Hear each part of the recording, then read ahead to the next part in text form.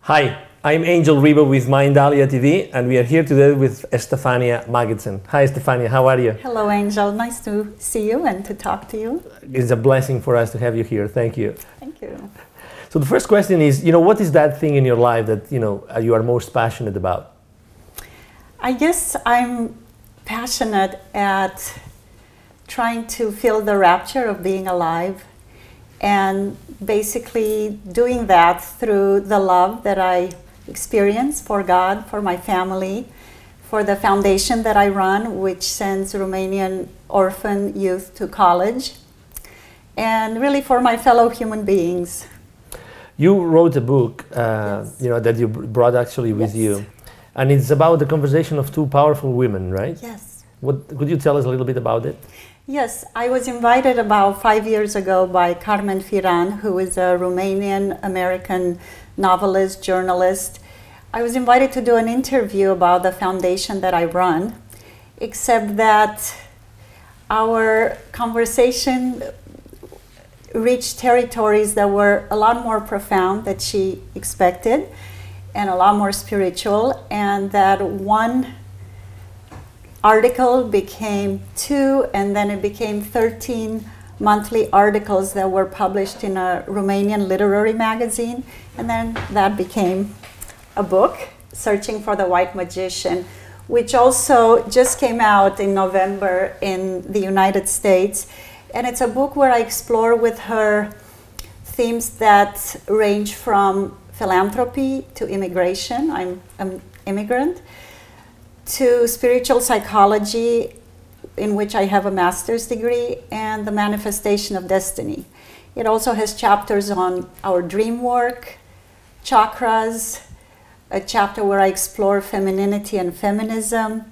So it really covers a very broad range of topics, but I would say the underlying leitmotif is how does spirit and God inform our life and how we live our life. Are spirituality and your foundation related in any way?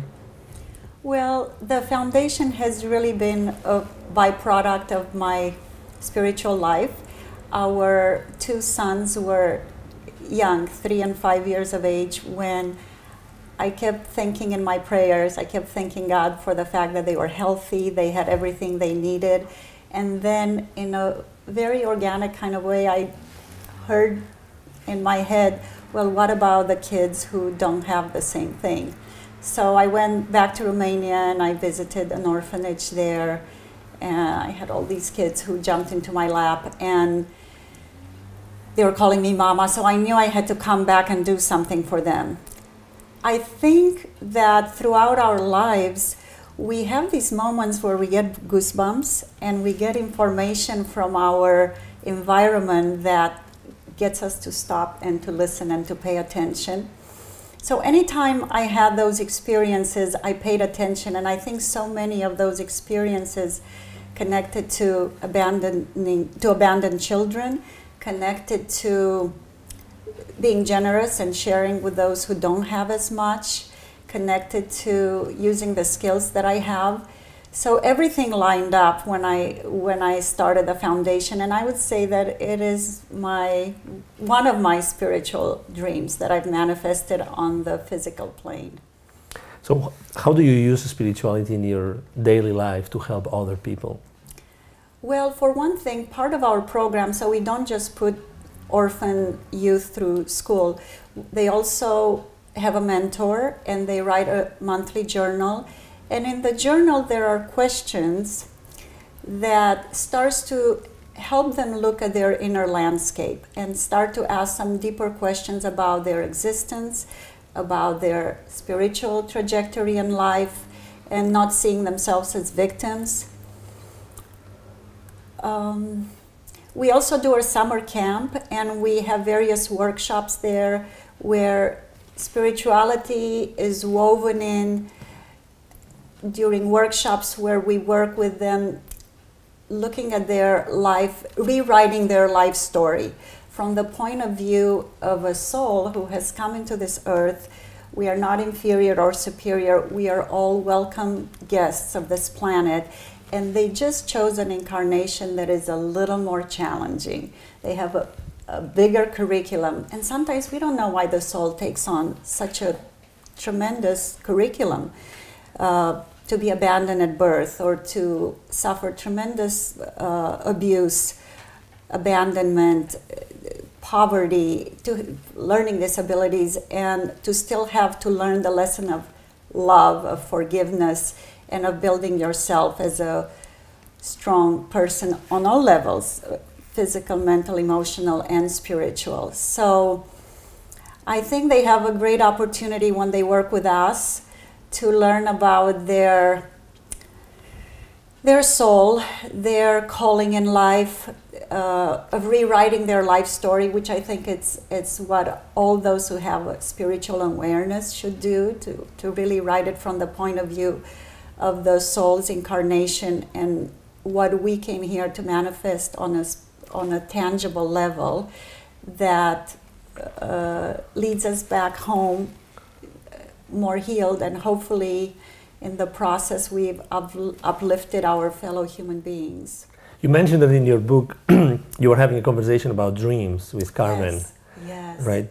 What about that conversation and, and did well, you Well, I devoted a whole chapter to it. I love dreams. I feel that they are such a rich source that inform our life.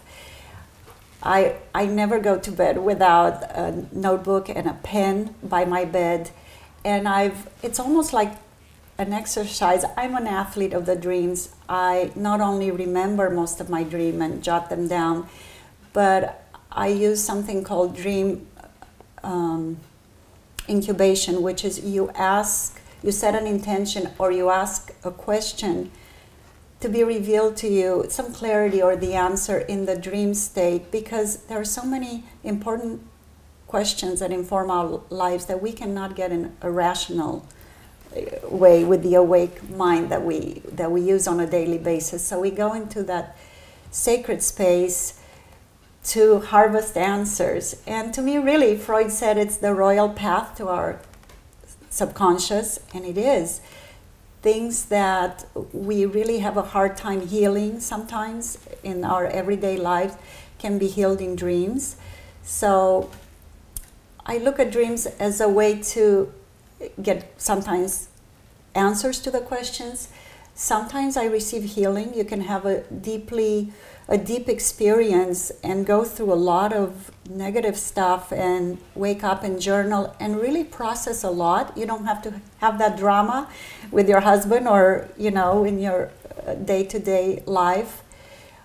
I also look for, to dreams as messages. Sometimes we get messages of connections that we didn't think of making, an inspiration for a new project or a dream.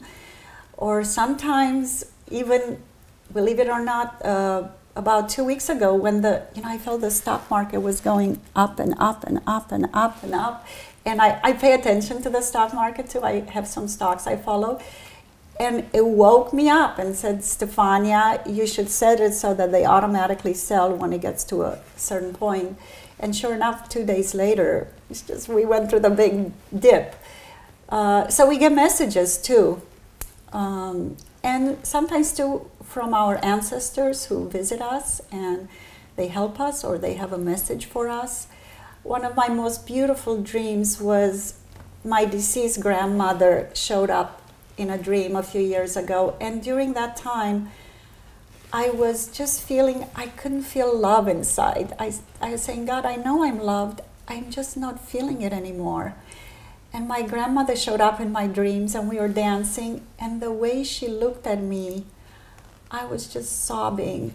She reminded me how deeply loved and lovable I am. And I, I felt she was truly God sent. And I woke up feeling in my bones that I am loved and I am lovable. So yeah, sometimes our ancestors show up and they give bring us these incredible messages. I loved Stefania the term you use. Uh, I am an athlete of the dreams. Mm. Um, what would you suggest our audience, our millions of viewers that we have? How would you suggest them to become? I don't know if athlete, uh, but maybe you know to to become close to an athlete with the dreams. Yeah, our dreams can be our allies. So I can start with just a few suggestions. First of all, to realize that absolutely every single person dreams, supposedly seven to ten dreams a night. So we all have them. Some of us haven't been in the habit of remembering or writing them down, but it's very possible. So for those who think they can't remember their dream, set an intention to remember your dream.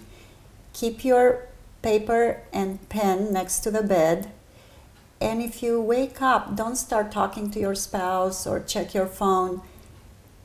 Just sit quietly and think about the world you've just come out from. If you can't remember anything, I suggest they think about the 10 most important people in their lives because often the dreams that we dream are often about the same 10 or more people that are the most important in our life. Lastly, drink water before you go to bed. I find that when I go through periods when I can't remember my dreams very well, if I drink water, I wake up to go to the bathroom and I almost always interrupted a dream. So then, um, what I suggest is that you always write a sentence or a few words on the paper that remind you of your dream. You don't have to write the entire dream right when you wake up or, why, or when you go to go to the bathroom. Just write a short sentence, a few words that will stimulate your memory in the morning, and then you journal the dream. And I like to always write my dreams in present tense, as if they're already happening, like I'm running through the streets. Uh, somebody in a red car is chasing me. So it's always in present tense, and I give the dream a title and then a subtitle. And sometimes those alone can be such unbelievable messages or ahas of, of uh, patterns or things that are happening in our lives. So, dreams are an incredible resource for us to get messages, to get answers, and to receive divine messages. Um, absolutely. You mentioned before that you're helping, you know, uh, kids in um, Romania so they yes. can access college. Yes. If I understood it well. And they are all orphaned. They don't have parents. Exactly. Um, I was um, I was wondering because when you I was picturing that so vivid image of yes. you going into an orphanage and those yeah. kids calling you mom. Yeah. Right. Um, it, have you have you thought of maybe helping also those you know younger kids before they get well, that age? Yeah, I started out. So the first two years we worked with those kids, and we hired additional caregivers to hold and cuddle babies, and we built playgrounds. But then with time, that was about 15 years ago when I first started. With time, there were more funds from the European Union and more help and we noticed that a lot of the big orphanages have started to dissolve. The kids were moved into foster care or into uh, home type settings, like small homes with maybe eight kids, two caretakers. So every time, every year when I would go back, I would ask the caretakers and I would talk to government officials, trying to find out what are the biggest needs. And they always came back to the same thing, saying it's those who are 18 years of age and who are graduating high school, they're pushed into the streets. They don't have a profession, they don't have life skills, they are expected to become self empowered, productive adults who are contributing to society, but they are so weak and it's too soon to ask these things of them. And I remembered because I was a young immigrant around the same age when I came to America, I remember how hard but how much those years define you 18 to about 25 because it's when you get a college degree but it's really when you mature as a human being and so i thought this is what i think our specific focus is going to be because so many people are working with the younger kids i love young kids because they are magic and especially before they get to like second grade you know one through seven i adore them but I feel that in the end, this is what was meant to be for our efforts. It was the, the last chance for the kids who grew up in those terrible circumstances to get a college education, to get a mentor. Our mentors are doctors, our, our NASA scientists. I, I've been able to, to entice some of the top Romanian Americans here in the diaspora and in Romania to be their mentor. And so the kids receive a lot of emotional, financial, and I think spiritual help too, so that they can go into the world with a strong backbone at the age of 25. Wow. Yeah. With all this, all your wisdom and all your inspiration, do you also help people in the US? Yes, I do. I, I belong to a foundation that actually inspired me to start mine here in Los Angeles for impoverished kids. We actually, there's 200 women. We raise a million dollar each year and award it to a child-related um, charity. But I'm also very involved in the arts and the arts that have a, an effect in the in our social lives. Um, and I'm, I'm involved in, in, contributing to various social causes. So I'm on the board of uh, museums, Graduate School of Education, the Tisch School of the Arts in New York for the film and television. At Columbia, I'm on the board of, um, they have a Roma, which is the politically correct term for gypsies. They have a platform, and you know, there's a lot we need to learn about Roma and that they've always been on the fringes of society and we just want to learn and they created a community online um, in fact i learned that about 10% of our students are roma and they are brilliant and they are capable that's my message to the world that uh, a lot can be done so i'm active oh and i'm the chair of the romanian committee within the Southeast European Film Festival here in Los Angeles. So my passions are spirituality, the arts, and philanthropy. And where these axes meet, there's where Stefania shows up. yeah. How, how, do you how do you reach all those organizations? How do you how are you able to be involved in so many uh, organizations and have you know the impact and the inspiration in so many places? Well, first, I only say yes to the ones that I feel I have a calling and I'm aligned with. So I'm asked by many, but I'm only involved in about seven.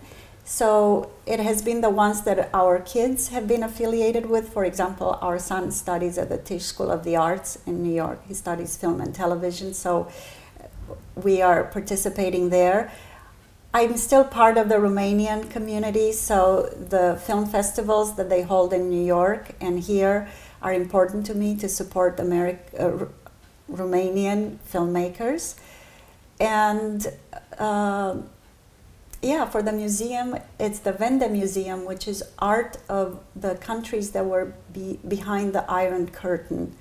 And Romania obviously was one of them. So I, uh, I go with where my heart is and I would say that because um, I'm in a lucky position of having a social and financial platform from which I can give, I have that luxury to choose really what resonates with my heart and spirit. Excellent. Yeah. Well, it has been a big, big, massive pleasure for, for us and for our audience to have you here today. So uh, thank you, thank you very My much. My pleasure. It has been an honor, and I hope that uh, your audience has resonated with some of the messages, and that at least some of you will start paying attention to your dream dreams and journaling them. I think you're going to find a rich source of of answers and inspirations in your life. Thank you. Thank you very much. Thank you, Angel. Again, I am Angel Ribo with Mindalia TV, and thank you for being with us today.